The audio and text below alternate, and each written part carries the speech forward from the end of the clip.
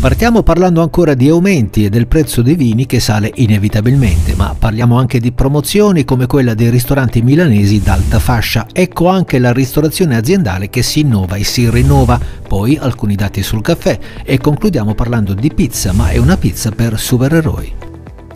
Bentrovati amici su Oreca Channel Italia oppure benvenuti se siete per la prima volta nel nostro canale. Ecco le 5 notizie che abbiamo scelto per voi oggi. Prego regia.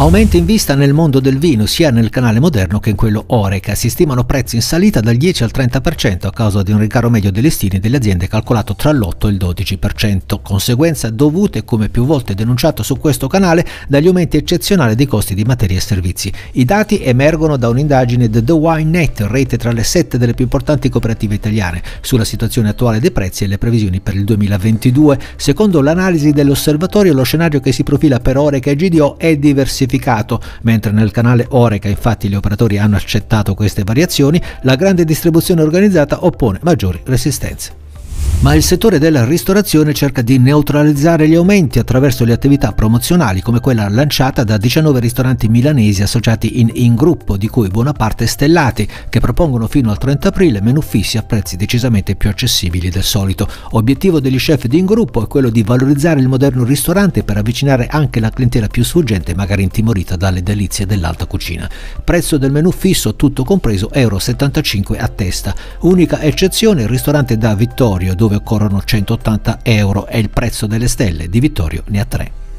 E se la ristorazione stellata cerca nuovi clienti, innova e si rinnova anche la ristorazione aziendale. Segnaliamo un nuovo modello per la pausa pranzo aziendale che è diventata à la carte e che offre la possibilità di prenotare con semplicità un pasto tramite un'applicazione sul proprio telefono in qualsiasi orario della giornata. Questa iniziativa, più vicina a un concetto di ristorazione invece che di una mensa tradizionale, si chiama Brio ed è il nuovo servizio delivery per le imprese lanciato da Sodexo. È di fatto il nuovo ristorante aziendale del futuro, con menù flessibili e adattabili alla dieta personale che permette anche di ottimizzare il tutto con meno sprechi.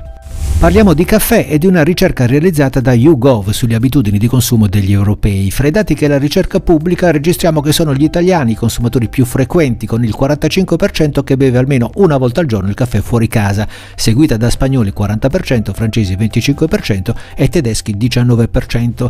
Per gli italiani e gli spagnoli è il bar il luogo preferito per bere il caffè fuori casa, 82% e 80% rispettivamente, mentre i francesi e i tedeschi lo bevono più spesso al lavoro, 56 e 52% o al ristorante. La fantasia nel mondo della pizza e nel mondo del marketing non si esaurisce mai. È nato The Batman Calzoni, idea della Warner Bros. per pubblicizzare il film The Batman.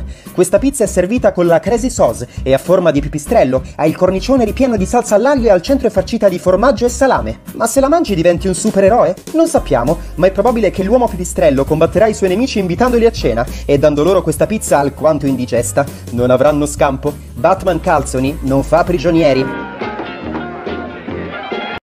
Bene, ecco il pensiero del nostro Muhammad Ali o Cassius Clay, suo primo nome. Questa è proprio la frase che serve per puntare in alto, vincere le sfide più difficili. Ali diceva, se la mia mente può immaginarlo e il mio cuore può sognarlo, allora posso raggiungerlo. Ecco, la grandezza di Ali non era solo di pensare e dire, ma era quella di riuscire a realizzare davvero quello che pensava e con tutte le sue forze voleva. Un esempio da seguire.